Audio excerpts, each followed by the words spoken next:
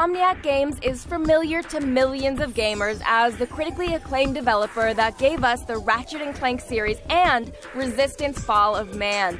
But the superstar developer started small. Way back in 1994, uh, I started the company and didn't know what the hell I was doing. I was just had this idea that it would be great to make console video games. Insomniac's first title was a first-person shooter called Disruptor, which proved a rather tough sell. We put together a demo for our first game called Disruptor, and it was something that was technically very impressive.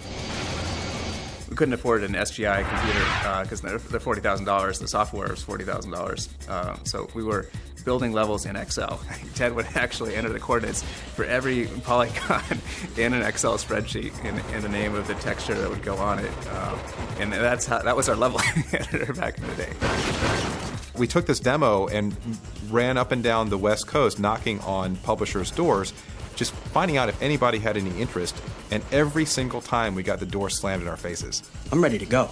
After a presentation to Universal Interactive Studios, Ted and Brian's luck changed. And so I remember driving back from Los Angeles that night when we got home. I had a message on the phone, and he said, "Let's do a let's do a three game deal." And that was probably one of the most pivotal moments of my own life. School's over, and now the real lessons begin.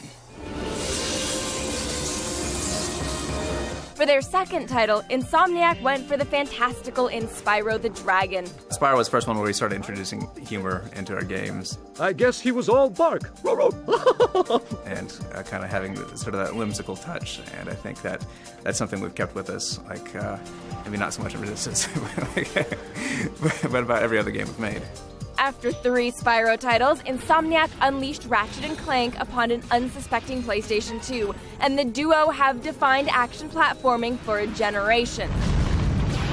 Insomniac itself has become larger, more successful, and is consistently named one of the 10 best small companies to work for in the United States.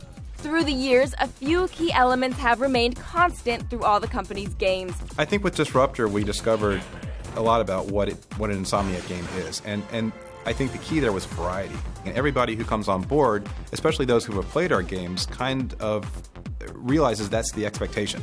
The key is you have to hit that note every single every single level, every single minute, because if really if you ever fail, people have so many different things competing for their attention. Like all it takes is, is one bad level or one you know bad five minute experience, and you know the game gets put down, and you know the players gonna walk away from it. Now, with two next gen offerings in the bag, Insomniac continues to plan future PS3 projects. It's that energy that you get from finding the right idea and getting everybody to kind of come together that drives the creation of these games, and that's always the same for us. He seems to know his way around the block. Catch an all new X Play, weeknights at 8, only on G4.